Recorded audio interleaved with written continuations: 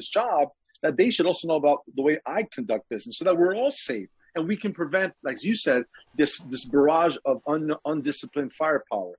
You know, I tell my cops all the time. The last time I checked, our guns, our bullets don't have strings attached to them. You can't pull back bullets once they leave your muzzle, right? You can't do that.